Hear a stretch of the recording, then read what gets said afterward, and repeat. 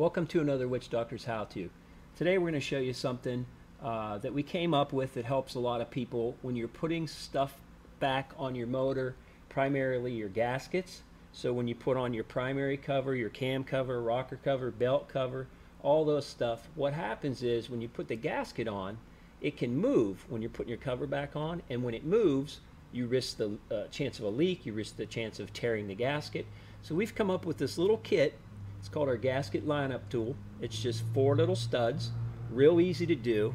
A lot of people don't understand how this works, so we'll show you.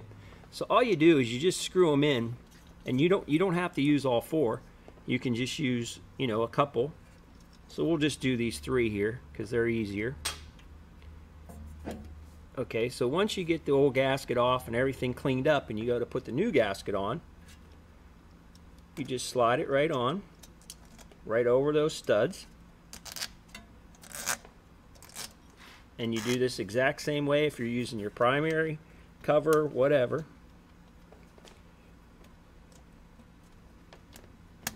Get that on there. Okay. So now you can kind of see it holds the gasket in place.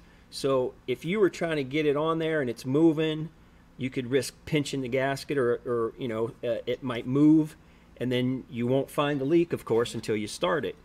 So we just use it like that and then we put the cam cover back on. Just make sure you put that wire in there so it's in there, you know, won't leak. Okay, and then you just simply go over top of go over top of these. I just pulled my wire out here. Let me put that on like that.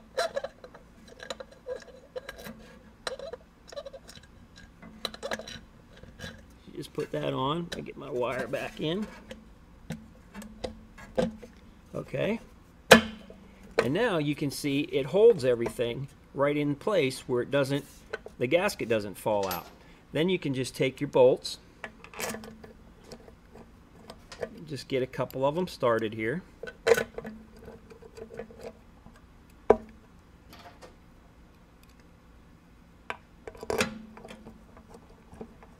Okay, so once you get those just kind of started where they'll hold everything in place.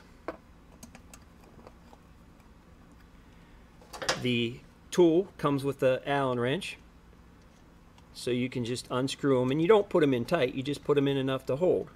So you can unscrew them this one you can actually grab but on the primary side it's a little thicker so that you can use the wrench. But you just simply take those out and then put your bolts back in so that's all there is to it on that um, hopefully you guys will find that useful it's uh, very inexpensive. It's only like seven, eight bucks for the whole kit. And it, like I say, it gives you four of them. You can do the other side. Uh, but you can see how that'll, it makes the job a heck of a lot easier and, and uh, again, save you some money so you don't pinch the gasket and save you time, uh, you know, where you don't find a leak once you get everything back together. So uh, thanks for watching and hope that helps you out.